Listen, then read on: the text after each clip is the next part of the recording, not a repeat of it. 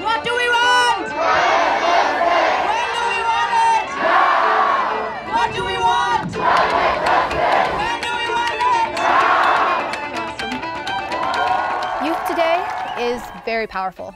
We have such a big voice, and so now is our time, and we're taking it. It is important that the youth get into climate action because the highest population of Uganda, mostly, if not Africa at all, is comprising of the youth. And the thing is, is that even though we might be young and we might be small, um, we still really deserve to have our voices listened to because the decision making, the, all of the decisions today are going to affect our futures the most. And also be humble in the sense that recognizing that this is something that most generations have, have to face their own challenges. What we're doing is natural to us. It's something that you just wake up and do because it's right. And the youth are definitely showing up for that right now.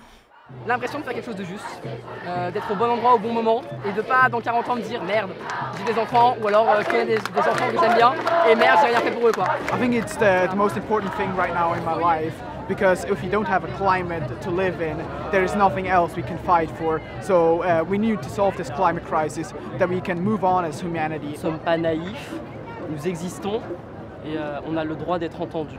On continuera jusqu'à ce qu'ils nous entendent. We want to see Uganda as a nation be put on a straight pathway to a sustainable future. We need to go into a big movement that can have a big voice and we can push for uh, bigger solutions. It's not irresponsible to think of our future. It's not irresponsible to think that we are living in a mess and that we are going to be left with this mess. I think it's responsible to face the problem that we are facing. When you're an activist, there's not a lot of money in it, there's not a lot of fame in it. And most of the, the time, what you have though is community. You have people who are working together, who are standing up together, and I think that's what makes it so unique and so special.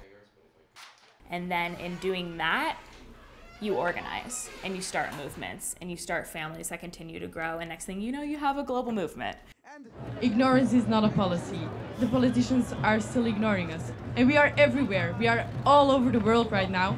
And we need to get bigger, grow more, so that there is one day that the politicians cannot ignore us anymore. And they need to show the courage that we are showing today.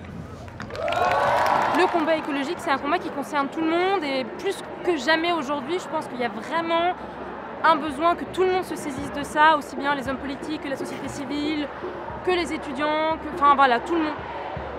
And I uniquely believe that when we are bigger than who we are as individuals, that's when we will make the most effective, positive change. We need to connect back to our roots. We need to connect back to the earth and connect back to the ground. And I think realizing that the world is bigger than us.